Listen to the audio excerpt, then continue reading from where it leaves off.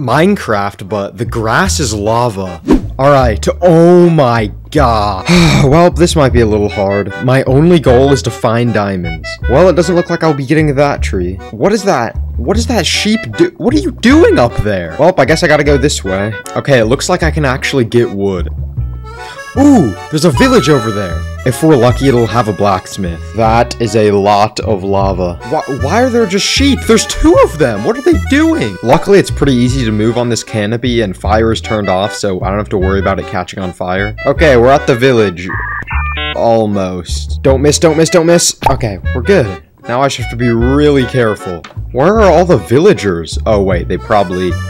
Ooh, that's awkward. Well, it looks like there's no blacksmith, so we might as well just dig down. What?